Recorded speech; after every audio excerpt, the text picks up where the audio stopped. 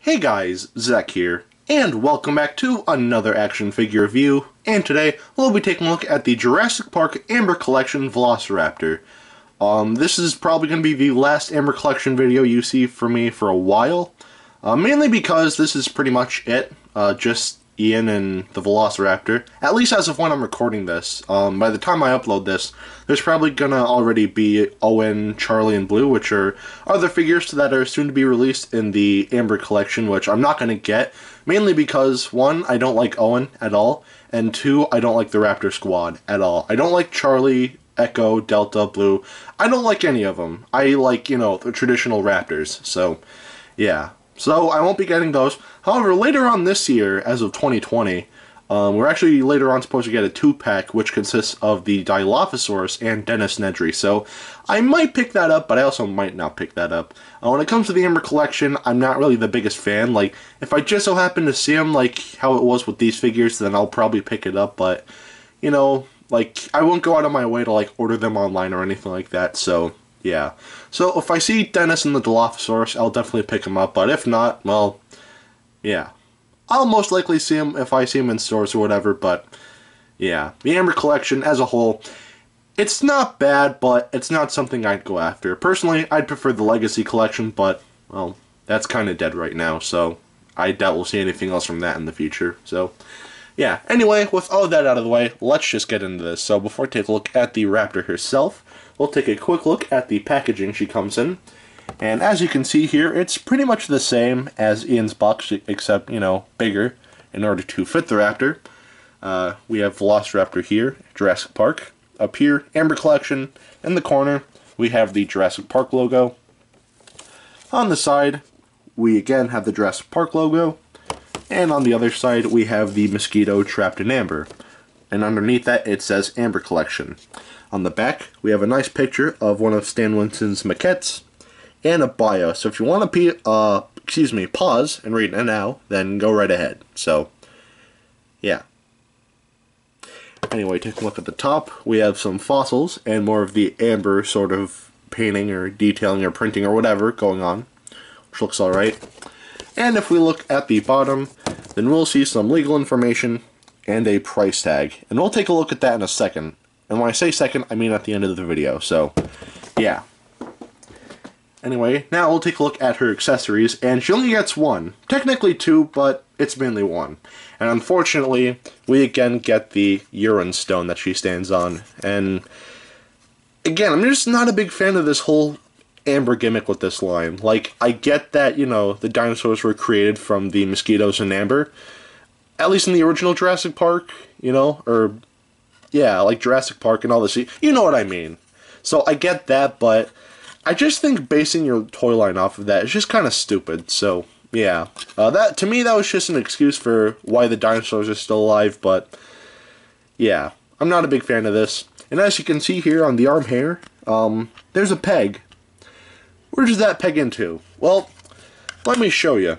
You take the Raptor, and the hole is in a very unfortunate spot. And basically all you have to do is just sort of plug that in and then you'll hear a click and then there you go. You could have her standing or in any sort of pose or whatever, so yeah. Again, I think the Raptor can stand fine without this, so again, I'm probably just going to put this back in the box and never take it out, so yeah, I don't like that. So, now for the Raptor herself. And I gotta say, I almost love this figure. This is almost a great figure. There's just one thing that I really don't like about it. Other than that, this thing is great. So, let's take a look. So first, we'll take a look at the painting. And the painting on this figure is very nice. So as you can see here, most of the body is this brownish color with a darker shade of brown for like an airbrushing along the top here, which looks nice. And that continues all the way through the head here. And taking a look at the head really quick, we can see that the eyes are painted sort of like an emerald green color, which actually looks very nice, very clean. Um, it doesn't really bleed into the skin much, which is good to know. Uh, usually when it comes to Mattel, there usually are a lot of paint defects, but when it comes to the Amber Collection, I haven't seen any reports of anything major. Of course, Ian had a few paint blemishes, but it wasn't anything too bad. But anyway, going to the inside of the mouth here, we can see that all the gums and whatnot are painted pink, and the teeth are painted a bonish whitish color, which does look nice. And we'll close that. The fingernails are painted a blackish color.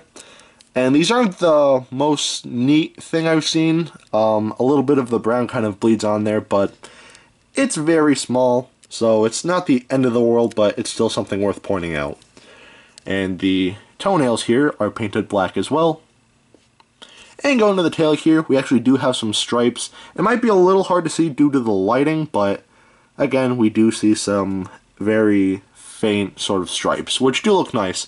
They're not on the uh, they're not on the back of the actual animal, but they're just on the tail, which I think is a little weird, but it's fine for the most part. So yeah, and that's pretty much it for the painting on this figure. Um, the toenails and fingernails aren't the cleanest when it comes to paint, but everything else looks very good. So the paint definitely gets a pass. Now take a look at the articulation, and the articulation is what I don't necessarily like about the figure. For the most part, it's great, don't get me wrong, but you know, we'll talk about when we talk about it. So first we'll start off with the head. The jaw can open like so, and just like with the Super Colossal Rex, it can open up like that as well. So I like that. So you could either have her kind of like looking up like so, or just have her roaring down at something, or growling. And I actually really like that. I think that's neat. I think the, you know, it's a little too wide for Raptors, but again, you know, it's interesting, and I appreciate that, so yeah. Anyway, we have a ball joint here, and a ball joint here. The arms can move outward, like so, and can do a 360, though the legs do get in the way, but it's fine because the elbows move. There's a bend here, and again, a swivel, and we have the same joint for the wrist here. Uh, bend and swivel. Going to the legs here. Let me just fix the arm really quick. We can see that they can move about 360, though they do kind of stop at some points, which is a little frustrating, but like if you move it and then like it just sort of like snaps into place. And I'm not really the biggest fan of that, but you know, it's whatever. I guess it's either, uh, excuse me, easier to like stand up, but like, yeah, um, yeah, not great, but not awful either. But anyway, the knee here can bend like so, and can swivel 360.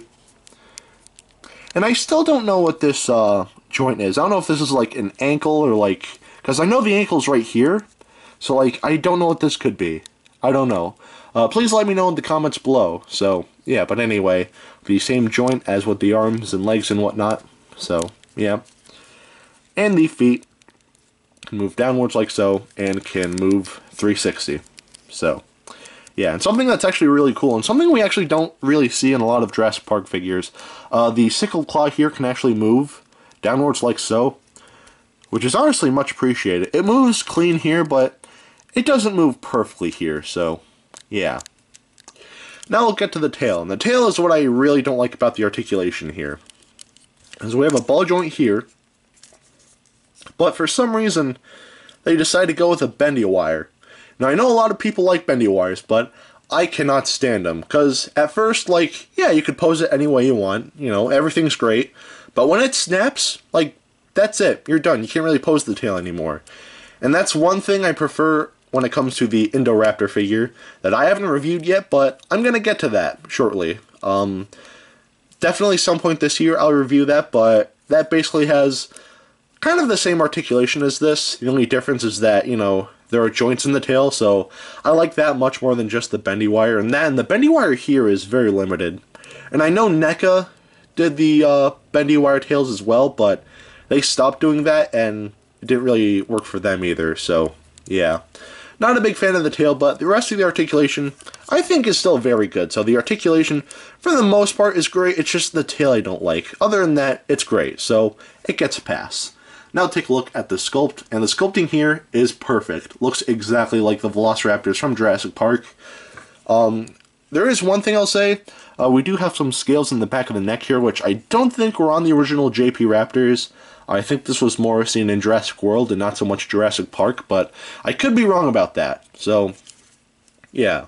The sculpting here is great. Everything is sculpted perfectly. So, yeah, everything here looks great, so the sculpting definitely gets a pass. Now take a look at the detailing. And the detailing here, again, looks great. So taking a look at the head here, we can see all the scaling creases are detailed very nicely. Everything here is very nicely defined, and even the nostrils there. The nostrils there look great. And on the inside of the mouth, we can see more detailing, and everything here is very nice looking as well. We do have a seam in the throat right here, which is very noticeable, but again, everything looks fine. And going to the neck here, again, we have more creasing and very small scales, which is actually very impressive how they're able to sculpt those in. Again, that actually looks very nice and very well defined, so good on you, Mattel.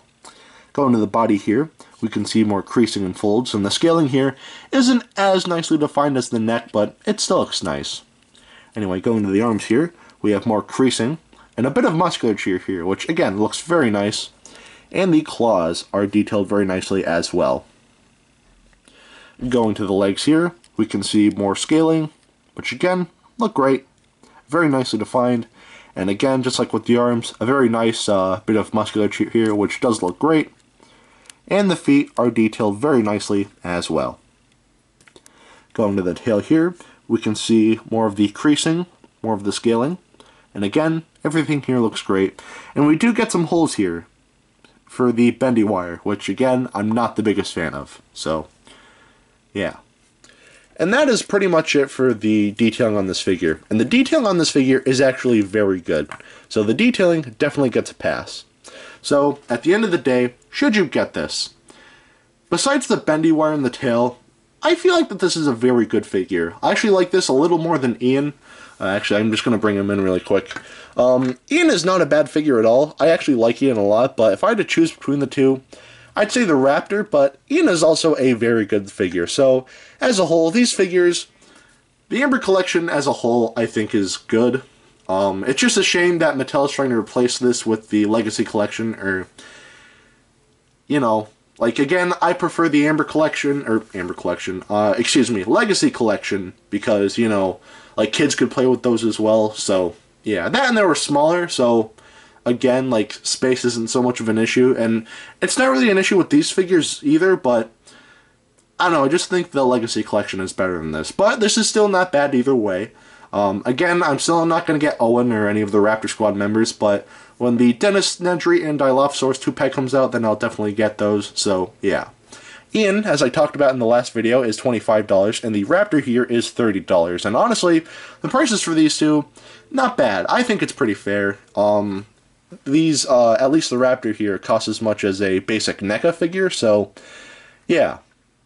So, it wouldn't be the end of the world if you got these, but if you do like highly articulated figures, then I'd say definitely go for these. Uh, these figures are definitely not bad. Uh, they don't scale well with each other. Uh, I think the Raptor is just way too small, and Ian is, you know, way too big, but... And even if we kind of, like, fix that a little, make him, or make the Raptor a little taller, and as you can see, yeah, no, the Raptor is still a little too small, so, yeah. Anyway, if you want to know how big she is, um, besides, you know, being shown with Ian. Of course, as we do at the end of every video, here she is next to Dr. Billy Grant, and again, she is much bigger than him.